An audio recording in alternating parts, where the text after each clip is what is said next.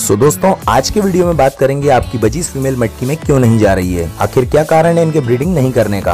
अब जाएगी आपकी बजीज फीमेल भी मटकी के अंदर। आपके यहाँ पर भी होगी ब्रीडिंग आपकी बजीज फीमेल भी अब देगी अंडे। बहुत जल्दी जाएगी मटकी के अंदर। तो देखें ये पूरा वीडियो सो हेलो गाइज़ मैं हूँ रोहित गुप्ता भोपाल से और वेलकम करता हूँ आपका, आपके और हमारे इस YouTube channel Bhopali birds lovers में दोस्तों। हाँ दोस्तों शाम का हो रखा है वक्त और पीछे आप देख रहे होंगे मेरे बर्ड्स की कॉलोनी है। और यहाँ पर अभी बर्ड्स नहीं है दोस्तों। आज का जो टॉपिक है, वो हम लोग बहुत इन्फॉर्मेटिव टॉपिक पर बात करने वाले हैं। तो बर्ड्स कहाँ पर हैं?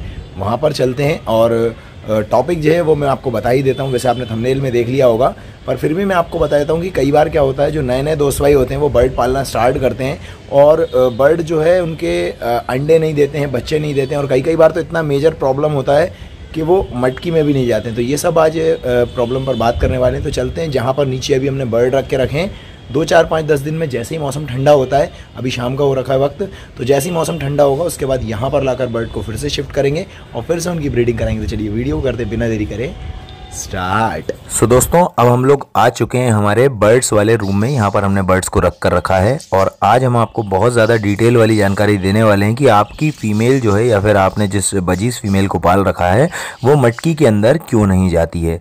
तो दोस्तों, शुरू करते हैं वीडियो को और मैं आपको बताता हूँ, एक हमारे भाई का कमेंट आया था, मैं इस पर ही पूरा वीडियो बनाने वाला हूँ। उन्होंने कहा था कि, भाई, मैंने मटकी लगा दी है, लेकिन बर्ड उसमें नहीं जा रहे हैं। चार महीने हो गए हैं, लेकिन उधर नहीं जाते। तो देखिए ये जो है चार महीने हो गए आपने मटकी लगा दी है। ये मुझे नहीं पता कि क्या कंडीशन पर अभी ये भाई का जो है अभी बर्ड्स हैं। पर मैं इतना जानता हूँ दोस्तों कि मटकी के अंदर ना जाने के कारण क्या क्या होते हैं। तो आज मुख्य तीन कारण पर मैं आपको बात करने वाला हूँ।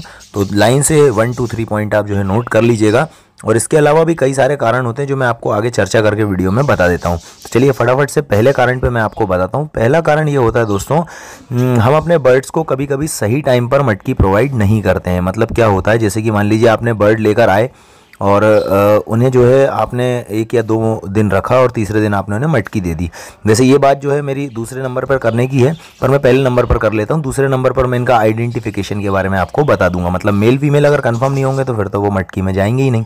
तो ये दूसरे नंबर पर आएगा पर पहले नंबर पर मैं आपको बता देता हूँ कि हम उन्हें सही टाइम पर मटकी प्रोवाइड नहीं करते हैं। मतलब क्या होता है? जब भी हम बर्ड पालते हैं एक्साइटमेंट हमारे अंदर बहुत ज़्यादा होता है। हम बर्ड लेकर आते हैं मार्केट से, दो या तीन दिन रुकते हैं, और उसके बाद फटास के मटकी लगा देते हैं। दूसरों को देखते हुए कि उनके यहाँ पर अंडे बच्चे दे रहे हैं तो हमारे यहाँ पर भी देंगे, या हमने वीडियो में देख लेते हैं। तो ऐसा कभी नहीं करना है। कभी भी आपको बर्ड लाना है तो उसे प्रॉपर जो है एक पेयर लेकर आना है पहले तो मतलब मेल और फीमेल का।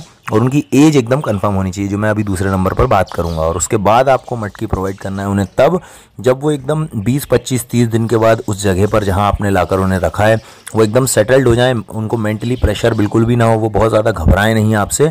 तब जाकर आपको उन्हें जो है दोस्तों, मटकी प्रोवाइड करना है। तो उस मटकी को वो अपने घर के रूप में, अपने अंडे बच्चों के रूप में वहाँ पर उसको घर बनाने के रूप में एक्सेप्ट करेंगे। और अगर आपने दूसरे तीसरे दिन लटका दी तो वो कभी भी उसके अंदर नहीं जाएँगे। पहला पॉइंट हो गया दोस्तों। दूसरा पॉइंट ये है कि कभी कभी हम लोगों को ये लगता है कि हम बर्ड जो लेकर आए हैं या जिसने हमें दिए हैं बर्ड सही दिए हैं। तो जानकारी आपको होना चाहिए। मेल फीमेल कन्फर्म होना चाहिए। मेल मेल आप लेकर आ गए तो वो मटकी में तो स्वाभाविक ही नहीं जाएँगे।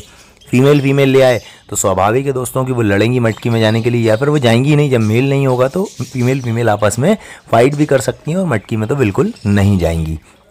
तीसरी बात यह हो जाती दोस्तों कि कभी कभी हम लोग जो पेयर लेकर आते हैं, वो बहुत ज़्यादा एज का नहीं होता है मतलब उसकी एज होती है, मान लीजिए बच्चे जो होते हैं इनके बजीज के, वो निकलने के बाद जो आप देख रहे होंगे स्क्रीन पर सेम इसी साइज़ के हो जाते हैं, चालीस से पैंतालीस दिन के बाद, पचास दिन के बाद मतलब एक एक्सपर्ट ही बता सकता है जो काफ़ी टाइम से बर्ड पाल रहा हो कि ये बड़ा है या फिर बच्चा है।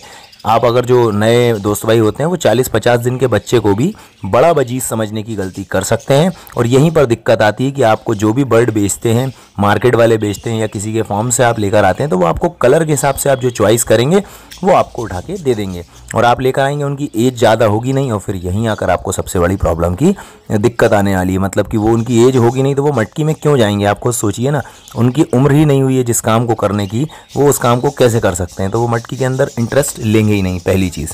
तो ये हो गया दोस्तों हमारा दूसरा कारण। और तीसरे कारण पे मैं आपको बता देता हूँ दोस्तों, जो सबसे ज़्यादा लोगों को दिक्कत आती है या फिर जो प्रॉब्लम आती है, वो ये होता है दोस्तों कि जिसमें आपके बर्ड के अंदर मतलब जो आप मेल या फीमेल का पेयर लाए हैं, पहली बात तो एक पेयर से कभी भी स्टार्ट मत करें। कम से कम आप दो पेयर से स्टार्ट करें, जिसमें कि आपको जो है एज गैप वाली प्रॉब्लम भी नहीं होगी। जो एज गैप की सबसे बड़ी प्रॉब्लम होती है, आप एक पेयर लाते हैं उसमें एज गैप इतना ज़्यादा होता है कि फ़ीमेल मान लीजिए बहुत ज़्यादा एज की है या बहुत कम एज की है, दो महीने की फ़ीमेल ले आए आप और एक साल का मेल ले आए या एक साल की फ़ीमेल ले आए, दो महीने का मेल ले आए तो उनका पेयर तो बनना ही नहीं है। और जब तक पेयर नहीं बनेगा, तब तक बर्ड मटकी में नहीं जाएँगे, अंडे नहीं देंगे। ये सबसे बड़ा कारण है दोस्तों, इसको बहुत ज़्यादा गौर से समझिएगा और आपको यहीं पर ही सबसे बड़ी प्रॉब्लम आने वाली है। मतलब एज गैप का आइडेंटिफिकेशन होना बहुत ज़रूरी है।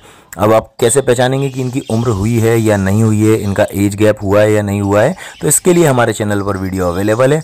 वहाँ पर आप जाकर देख सकते हैं, बजीज बर्ड एडल्ट कैसे होते हैं और नॉर्मल कैसे होते हैं, आप जाकर वहाँ पर एज गैप में अंतर लगा सकते हैं। बहुत आसानी से मैंने समझाने की दोस्तों, कोशिश करी है। अगर आपको फिर भी कोई डाउट होता है तो आप कमेंट कर दीजिएगा। तो हमारे बहुत सारे दोस्त भाई जो यूट्यूब चैनल पर जुड़े हुए हैं, वो आपको वहीं पर कमेंट में बता देंगे कि इस तरह से आप अपने बर्ड्स को पहचान सकते हैं। यह एक डेडिकेटेड वीडियो अगर आपको वो वीडियो नहीं मिलता है, बहुत आसानी से मिल जाएगा। आप डालेंगे तो हमारे चैनल पर। पर नहीं मिलता है तो और बना दूँगा मुझे, कोई दिक्कत, परेशानी नहीं है दोस्तों। तो इस तरह से ये तीन बिंदुओं को आप समझ लीजिए। इसके बाद आपकी जो फीमेल है, वो मटकी में भी जाएगी, अंडे भी देगी और साथ ही साथ अपने बच्चों को भी बहुत अच्छे से पालेगी दोस्तों। उम्मीद करता हूँ आज का ये वीडियो आपको समझ में आया होगा। इसके अलावा भी बहुत सारे कारण होते हैं दोस्तों, आप अपने बर्ड को कभी भी डरा हुआ महसूस मत होने दीजिएगा, जहाँ पर भी आप उन्हें रखिएगा। ऐसी सेफ़ जगह पर रखें कि बर्ड एकदम सेफ़ फील करें धीरे धीरे उनका विश्वास जीतें, उसके बाद मटकी लगाएँ, उसके बाद ब्रीडिंग कराएँ, कोई भी प्रॉब्लम नहीं आएगी दोस्तों। उम्मीद करता हूँ वीडियो अच्छा लगा होगा। अगर अच्छा लगा हो, मेरी मेहनत पसंद आई हो दोस्तों तो इस वीडियो को एक लाइक ज़रूर करिएगा कमेंट अच्छा सा ज़रूर करिएगा, आपके कमेंट का रहेगा मुझे इंतज़ार। चैनल पर पहली बार आए तो सब्सक्राइब ज़रूर करिएगा। मिलते हैं फिर इसी अगले इन्फॉर्मेटिव वीडियो के साथ। तब तक के लिए थैंक यू गाइज़